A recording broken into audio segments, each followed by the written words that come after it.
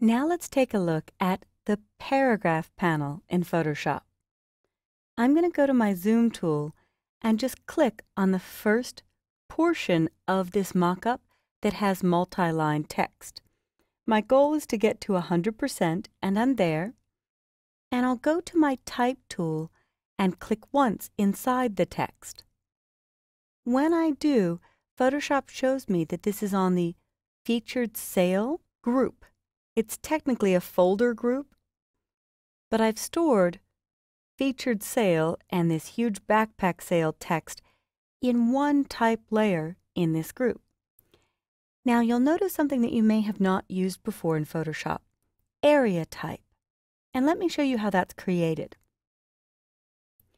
If I do select all and copy, and I hit the check mark to say OK, that leaves me on the type tool. Often I would go to the move tool and then come back to the type tool, but the check mark is faster. If I click just once with the type tool and paste, it creates long lines of type. If I hit the check mark to accept that and then trash that layer because I don't need it, and instead of doing one quick click to create my text area, you can click and drag and control how wide and tall the area is so it's allowed to wrap from line to line. So now when I choose Edit Paste, my text is wrapping. I'm going to again hit the check mark and again trash that duplicate layer, but it's important when doing mockups of this type that you see how to create area type. All right, let's jump into the paragraph panel. I'll aim for the middle of any of these words, and in your options bar across the top is the paragraph panel. So one click brings that up.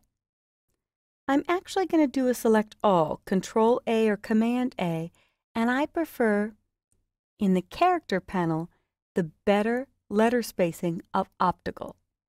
Makes much more cleaner, easier to read type in my opinion. But I'm going to click just on the first line and go to the paragraph panel. And all of these already have the proper alignment. It's on center. But if I do select all again, you could try some unique alignments. Justify with last line left, which in this area type would cause very large gaps between the words, so I'd have to reduce this area for that to work out. But they do have justify with last line centered and justify with last line left, and if you really wanted to force it, justify all lines, which can, I suppose, create some neat artistic effects, but I want to go back to centered. There's also left indent, right indent, so this might be handy if I did want a little cushion on the left or right side here.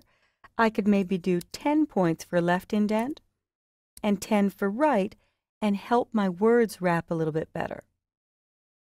But I'll adjust the width of my text area instead of doing a left and right indent because that would affect my headline as well.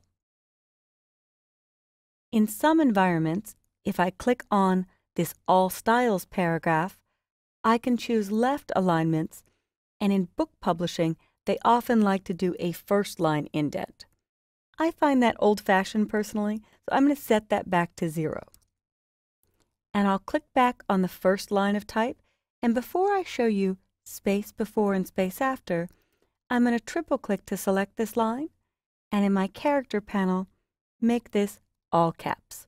So character and paragraph are nested right behind one another, I can click their icons to collapse or expand them. But I want to use a typography feature of space before, or in this case, space after. A lot of people would add an extra return to do space between their lines.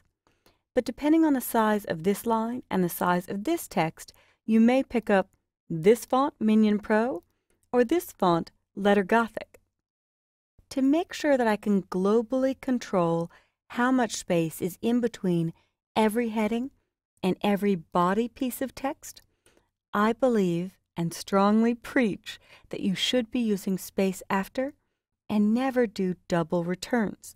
That's cheating in a typography world. So space after here would let me put 10 points of automatic white space between this headline and the body copy. Space before I could have done if I set this back to zero and click in this paragraph, I could put in 10 points of space before every body paragraph.